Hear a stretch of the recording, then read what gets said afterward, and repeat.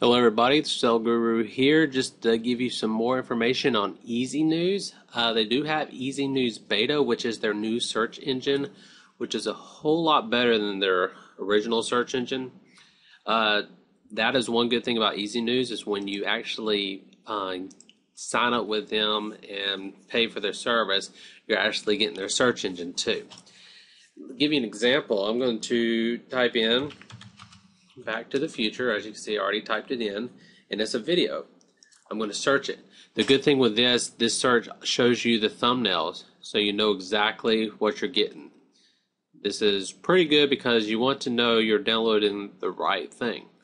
Let me do another movie. I'm going to do, let's see, Good Luck Chuck. I've just looked, I've looked at the DVDs I have on the wall. As you see, Good Luck Chuck, AVI, gives you the thumbs.